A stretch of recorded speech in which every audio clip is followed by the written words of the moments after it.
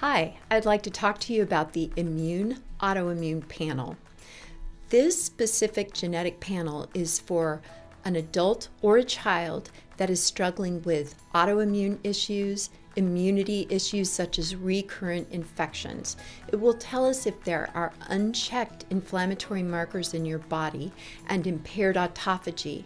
Autophagy is something called self eating. It's basically the process where you can go into the cell, recycle the good stuff, and clean out the garbage. And most autoimmune illnesses have impaired autophagy. And this is a relatively new finding since 2015.